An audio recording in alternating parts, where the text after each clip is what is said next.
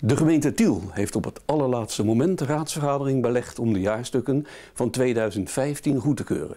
Vrijdagavond 30 september om half acht is dat gebeurd. Bij het ministerie had het college van de burgemeester en wethouders van Tiel om clementie gevraagd, omdat de accountant niet mee zou willen werken aan een snellere afhandeling. Er zou bij de accountant onder andere sprake zijn van onderbezetting. Reden waarom de gemeente Tiel juridische stappen overweegt richting de accountant. Alle gemeenteraden in Nederland moeten voor een deadline over de jaarstukken en bijbehorende accountantsverklaring hebben besloten. Normaal moet men dat doen voor 15 juli. Maar het ministerie van Binnenlandse Zaken heeft al twee keer toe uitstel verleend, omdat veel gemeenten, waaronder Tiel, dat niet voor elkaar kregen.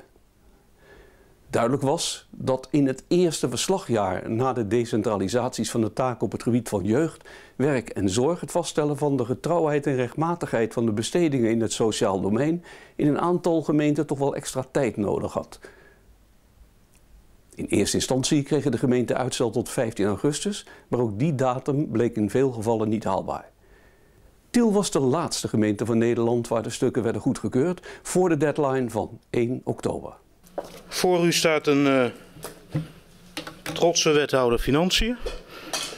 Uh, en dat uh, geldt niet specifiek voor het eindresultaat, al is dat natuurlijk hartstikke mooi. Een goedkeurende verklaring, een schone goedkeurende verklaring met betrekking tot de jaarrekening. maar er is ongelooflijk hard gewerkt door velen.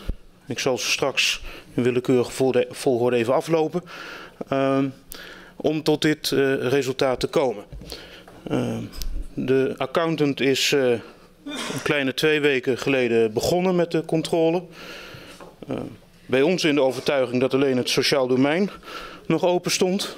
Maar ze hebben gewoon een compleet nieuwe controle in twee weken er doorheen gejaagd. Op zich is dat ook knap, uiteraard.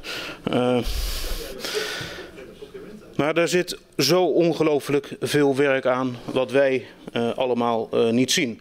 Dus er is behoorlijk overgewerkt tot in de nachturen toe. Dus ik wil de ambtelijke organisatie ontzettend bedanken voor het werk wat zij uh, hebben geleverd. Zowel aan Tielse kant als aan BWB kant. Dat is ook een beetje Tielse kant natuurlijk.